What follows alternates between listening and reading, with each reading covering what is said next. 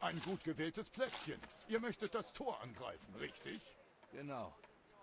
Wir wollen nicht mehr Schaden anrichten als notwendig. Das ist verständlich. Toss hat sich also dort verschanzt. Auch richtig? Ja, genau, Meister Konrad. Ich hörte, habt ihr noch ein Hühnchen mit ihm zu rupfen.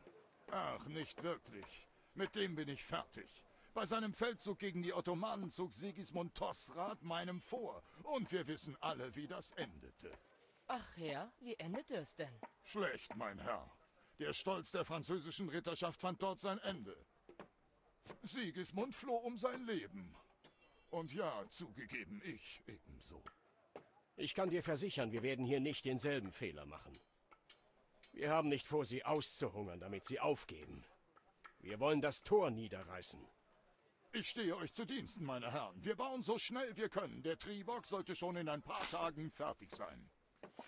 And I can supply, for example, Raketa to sweep the foe from the battlements. Rokettas? Ich glaube, ich habe dieses Wort noch nie gehört.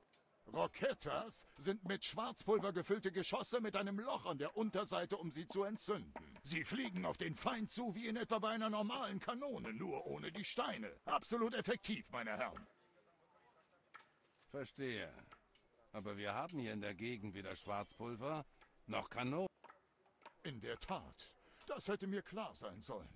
Aber ich bin ein großer Freund der Rokettas und male mir oft aus, was Alexander der Große mit ihnen hätte erreichen können.